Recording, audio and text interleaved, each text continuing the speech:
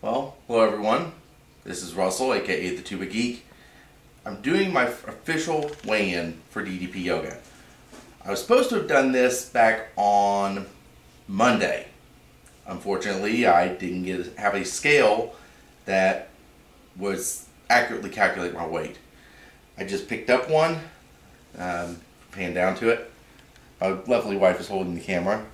Uh, it's a Weight Watchers digital scale. Some people have griped about the some people have griped about the digital scale. Uh, that's not accurate. Well, unfortunately, they don't make manual scales that weigh up to or yeah upwards of 350 or 400 pounds much anymore.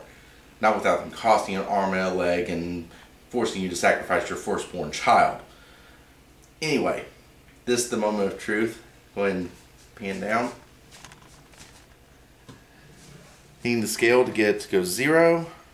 Alright, here's my weight.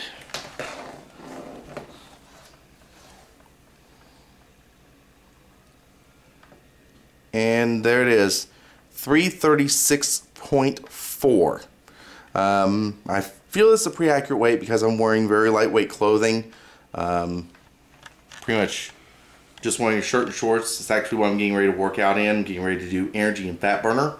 Um, I probably won't wait. I won't in again until around uh, mid-March, whenever I hit my 30 days. Um, but I'll probably post a couple other videos between now and then. So until then, uh, own your life, feel the bang.